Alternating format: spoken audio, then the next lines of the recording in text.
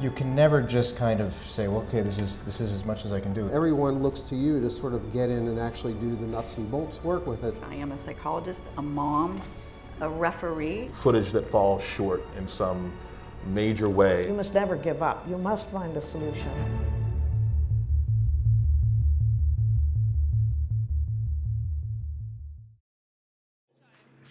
Don't ever do that Janiro bullshit again. No more deals like that. You hear what I'm saying? What are you talking about? What am I talking about? Look at that. 168 pounds. So uh, this is a scene from Raging Bull, which was the hardest scene I've ever had to cut, uh, and I'll explain why.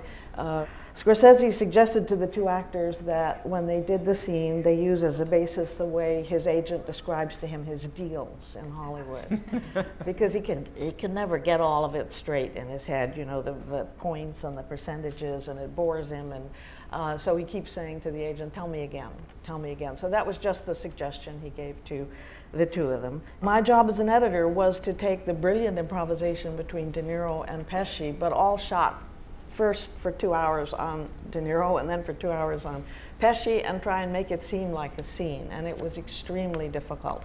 The material was unbelievably rich. These are the two greatest improvisers in the world.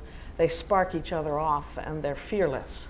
They have to, Scorsese always tells them they have to start a certain place and they have to end a certain place, but anything goes in between. Oh, you're supposed to be a manager. You're supposed to know what you're doing. I did just what I wanted to do. That's what I'm worried about. You did it. You want a title shot? What are you talking? Do you want a title What, is, shot? what am I in? What, what am I in a circus over here? I asked him. He's got more sense about this. What are you doing? You've doing? been killing yourself for three years now, right? There's nobody left for you to fight. Everybody's afraid to fight you. Okay, along comes this kid Janiro. He don't know any better. He's a young kid, up and coming, and fight anybody. Good, you fight him. Bust his hole. Tear him apart, right? What are you worried about? What's the biggest thing you got to worry about? I'm The weight? worried about the weight. You worried about the weight? What are we arguing about for? I just said the weight. Okay, let's say you lose because of your weight. Are they gonna think you're not as tough as you were? You're not the same fighter? Good. They'll match you with all those guys that were afraid to match you with before. What happens? You'll kill them, and they gotta give you a title shot. Bring me coffee. Now, this is What? about improvisation and the difficulties of cutting improvisation sometimes. Uh, Scorsese never shoots an improvisation scene unless he has two cameras. And the camera has to be locked down. You can't have any camera moving, it makes it too difficult for, for the editor. But in this case, he wanted to shoot in the actual uh, apartment where Jake LaMotta had lived in a house, actually, in the Bronx. And that house did not, the kitchen of that house did not allow for two cameras.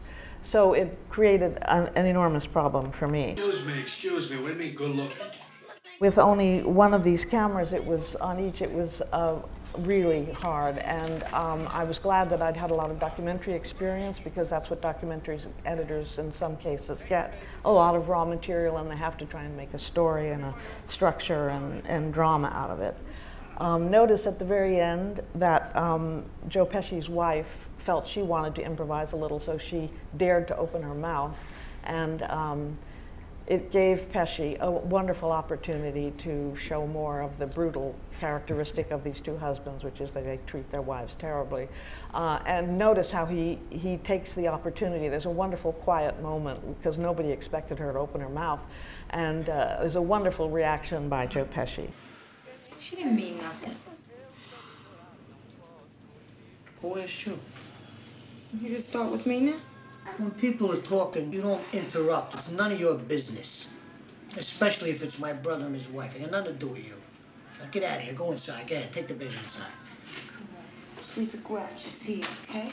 Even Scorsese gave up on this one and walked out, and uh, I just kept plugging away at it until I got it. But what rich material I'm working with, I'm very lucky. It's just plugging away at it, and that's part of your job as an editor. It can be, patience is one of the most important things in editing, I think. Um, and you just have to keep trying until you get there.